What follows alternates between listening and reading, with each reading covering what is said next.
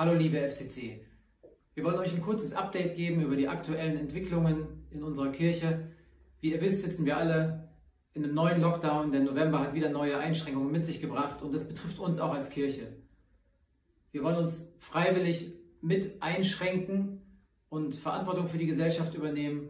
Und wir haben lange gerungen mit uns, wie, wie können wir das machen. Wie ihr wisst, haben wir dieses Format, dass wir Livestream-Gottesdienste haben und wir eine eingeschränkte Zahl von Besuchern aufnehmen konnten. Und wir haben uns nach schwerem Ringen dazu entschlossen, dass wir Besucher im November nicht mehr zulassen können zu den Livestream-Gottesdiensten. Das heißt, wir behalten das Format mit einer Gruppe von circa 10 bis 15 Leuten, zeichnen wir diese Gottesdienste auf und übertragen sie live.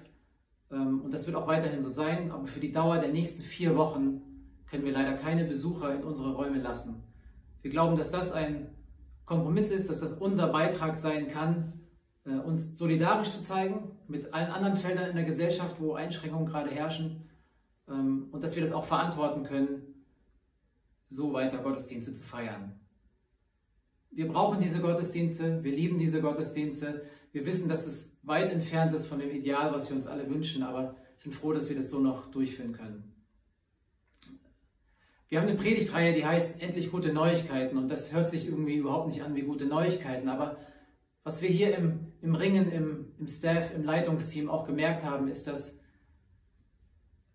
die guten Neuigkeiten des Evangeliums bleiben bestehen. Wir bleiben Kirche.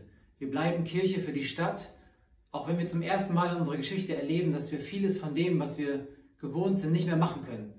Es fühlt sich für uns so an, als würden uns die Werkzeuge aus der Hand genommen, wie wir Kirche gestalten. Und alles ist neu, alles ist ungewohnt. Aber umso mehr sehen wir darin auch eine Chance oder wollen auch gemeinsam das als Chance ergreifen, zu sehen, wir bleiben Kirche. Ähm, das Evangelium hört nicht auf, gute Botschaft zu sein. Gott hört nicht auf, souverän zu sein. Und das wollen wir auch in den kommenden Wochen mehr und mehr in den Blick bekommen. Wir gehen auch auf die Adventszeit zu und planen jetzt schon, wie wir ein Stück von dem Gemeinschaftsgefühl, ein Stück von der Botschaft lebendig machen können für uns alle. Wie das passiert, wissen wir alle selber nicht. Es ist ein von Tag zu Tag Nachspüren von dem, was, was möglich ist. Aber wir wollen euch einfach hier auch wissen lassen, dass wir an euch denken, dass wir uns verbunden fühlen, auch mit denen, die wir schon lange nicht mehr zu Gesicht bekommen haben.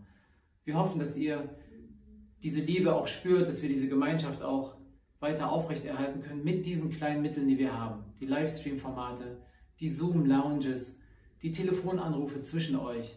Habt einander weiterhin im Blick. Kümmert euch auch um die, die in euren Häusern wohnen, die, die Nachbarn, die einsam sind. Habt, habt einen Blick auf die anderen. David hat am Sonntag gepredigt über Kirche in der Stadt sein und das Du zuerst setzen. Lass uns das gemeinsam leben in diesen kommenden Wochen, auch in dieser ungewohnten Situation. In diesem Sinne, Bleibt hoffnungsvoll und wir sehen uns spätestens im Livestream am Sonntag. Bis dahin.